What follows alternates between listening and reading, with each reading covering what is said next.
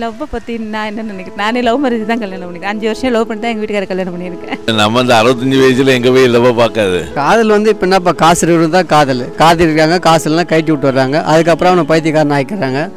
லவ்னு ஒரு வயசு இருக்குது அதை புரிஞ்சு இது பண்ணாதான் அவங்களுக்கு இது கடைசி வரைக்கும் கொண்டு போயிடுறது உண்மையான லவ் சும்மா பார்த்து அஃபெக்ஷன் அதெல்லாம் லவ்வே கிடையாது. ஒரு உச்சத்தை தரலாம் லவ் பண்ணால் நல்லா படிக்கலாம். ஒரு வெறி வரும். எல்லாம் பண்ணணும்? லவ் பண்ணுற பொண்ணை கல்யாணம் பண்ணிக்கணும். நல்லா படிக்கணும். அவங்க வீட்டில் கேவலமாக நினைப்பாங்க.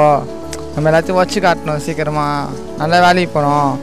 அவங்க எதிரே அவங்க பொண்ணை நல்லா அவங்களோட பெரிய அளவுக்கு வச்சுக்கணும். அவங்க அப்பா அளவுக்கு நகர அளவுக்கு வச்சுக்கணும். சந்தோஷமாக லவ் பண்ணுறது அந்தந்த வயசில் லவ் பண்ணுறது அது சரிதான். நல்லது தான் நான் சொல்கிறேன் நோ ஐடியா லவ் பற்றி ஐடியா எனக்கு காதலிச்சு கல்யாணம் பண்ணுறவங்கள விட கல்யாணம் பண்ணிட்டு காதலிக்கும் ரொம்ப நல்லா இருக்காங்க.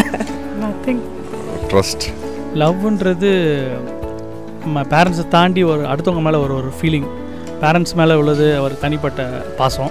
லவ்ன்றது அவங்கள தாண்டி இன்னொருத்தவங்க மேலே வர்றது தான் உண்மையான லவ் அப்படின்றத நான் ஃபீல் பண்ணுறேன் லவ் பற்றின என்ன ஒருத்தர் மனசு ரெண்டு பேரும் புரிஞ்சுக்கின்னு அவங்களோட அவன் மனசும் புரிஞ்சுக்கின்னு என் மனசும் புரிஞ்சுக்கின்னு தான். Love means he according to me love means he time waste தான். இதுக்கெல்லாம் ரொம்ப விட்டு கொடுத்து மன போகிற மனப்பணம் வேணும். இல்லாட்டி waste love is noble love வந்து ஒருத்தர் ஒருத்தர் பரஸ்பரமாக புரிஞ்சுட்டு தன் வாழ்க்கையை லீட் பண்ணது தான் மெயின் எய்ம் அதுக்கு. காதல் நல்லது தான் அது வந்து ஒரு புனிதமானது. அது எல்லார் வாழ்க்கையிலையும் வரும்.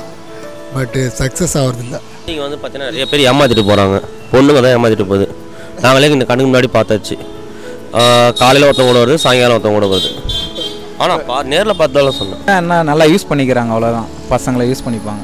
காதலை பற்றி நான் காதல் இப்போ எல்லாம் தற்கொலையாக தான் நடக்குது. யார் நூற்றுக்கு பத்து பேர் சாப்பிட்றாங்களே கண்டி அது காதல் ஒன்று ஒருவே இல்லையே? காதல் வந்து ஒரு நல்ல விஷயம். தன்னுடைய வாழ்க்கை துணையை தேர்ந்தெடுக்கிற உரிமை வந்து ஒரு ஆணுக்கும் பெண்ணுக்கும் இருக்குது ஆணுக்கு எப்படி இருக்குது அந்த பெண்ணுக்கும் இருக்குது அந்த வாழ்க்கை துணையை தேர்ந்தெடுக்கிற வழியாக காதல் இருக்கிற பட்சத்தில் அது அவங்களுக்கும் நல்லது சமூகத்துக்கும் நல்லது அவங்க பெற்றவங்களுக்கு நல்லது அவங்க எதிர்காலத்துக்கு நல்லது. உங்கள் பசங்க வந்து லவ் பண்ணால் நீங்கள் கண்டிப்பாக அக்செப்ட் பண்ணுவீங்க. டெஃபினெட்லி ரைட் பையனா நல்ல பையனான்னு விசாரிப்பேன். அது என்னோட ப ஒரு அப்பா ஒரு கடமை. இப் கோயிட் நான் ஏன்னா சில விஷயம் பசங்களுக்கு கற்றுக் கொடுக்கணும். எங்கள் அப்பா அம்மா என்னை கேட்டாங்க நீ பொண்ணை பொண்ணு கரெக்டாக நீங்கள் போய் பார்த்து தெரிஞ்சுக்கோங்கன்னு நான் சொன்னேன்.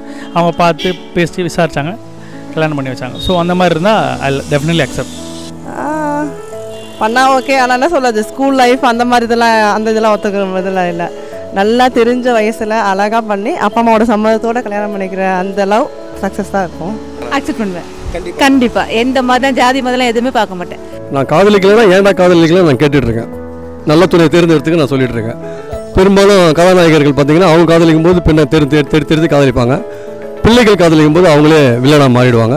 அந்த தப்பை நான் செய்ய தயாராக இல்லை கண்டிப்பாக உங்கள் சைட்லேருந்து காதலுக்கு க்ரீன் சிக்னல் தான். ஆமாம் அதுவும் ஜாதி மறுப்பு திருமணமாக இருந்தால் அதுக்கு முழு ரெண்டு பச்சை கொடி காட்டுவேன் நான். பொண்ணுங்க மேலே மட்டும் தான் தப்பா இல்லை பசங்க மேலே தப்பா? சரி சமமாக தான் இருக்குது. நீ பொண்ணு மேலேயும் தப்புன்னு சொல்ல முடியாது புள்ள மேலேயும் தப்புன்னு சொல்ல முடியாது. பைக் வச்சிருந்தா ஆ அவன் பெரிய ஆள் அப்படின்னு கவுந்து போகிறது நிறைய இருக்குது. அதுக்கப்புறம் கஷ்டப்படுறது நிறைய இருக்குது. லவ் பண்ணுறது டைம் வேஸ்ட் டைம் வேஸ்ட்டு தான். ஏமா இன்னைக்கு ஏமாத்திட்டு இருக்கிறாங்க. இல்ல, நல்லதும் இருக்குது கெட்டதும் இருக்குது. அது வந்து எங்கள் கண்ணு முன்னாடி பார்க்கறனால நாங்கள் சொல்லிட்டு இருக்கிறோம். இப்போதைக்கு படிக்கணும். டுவெண்ட்டி த்ரீ டுவெண்ட்டி ஃபோருக்கு அப்புறம் சும்மா தான் இருக்க போகிறோம் அப்போ பண்ணிக்கலாம்.